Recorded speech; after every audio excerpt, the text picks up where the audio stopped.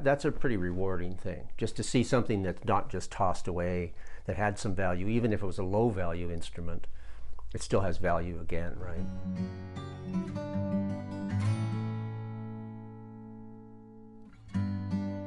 Hi, I'm Peter Allen Sawchyn. I'm the co-owner of Sawchyn Guitars here in Regina, and I'm the head repairman and builder and part-time salesperson.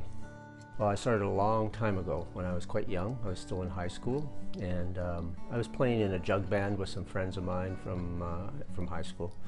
And uh, always kind of been interested in instruments for some reason. I don't know why. Just the mechanical part of the instrument, not really playing an instrument. So um, I remember repairing or kind of customizing a little guitar for the jug band, made it into a what's called a dobro guitar, and uh, kind of got the bug then, I think. What's unique about it is every day is actually different. Like um, when you're a builder, uh, you have projects to, you know, if, you know, you start a guitar or mandolin build and you go through all the processes and, and you end up with an instrument. So there's always this anticipation, anticipation of what the instrument's going to sound like, what it's going to play like. So initially when you first start, those are the things that really catch you. Like, oh boy, I can make a guitar and I wonder what it's going to see, sound like when I'm done, right? On the repair side, it's the same thing. Every repair is a little bit different, no matter if it's the same old thing over and over again. Each guitar is unique, so every repair is unique. I have some signature guitars that I build. Um, uh, I guess the most famous one would be the Colin James model that I built. The story, a lot of people know the story, but Colin was a phenomenal kid and he had a phenomenal career at age 12 or 13. He was already starting his career.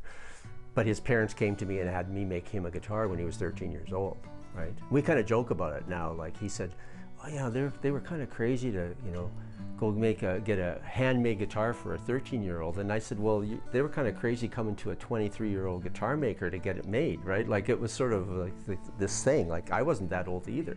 And then a great friend of mine and a, one of probably the world's one of the world's best guitar players, Bob Evans. I built a guitar for him a number of years ago, and he he's played that uh, the rest of his career, and um, that's a real famous kind of connection there because he's he's one heck of a guitar player. Lately, there's been all these uh, young upstart musicians from around here that are our customers, be, have become really good friends.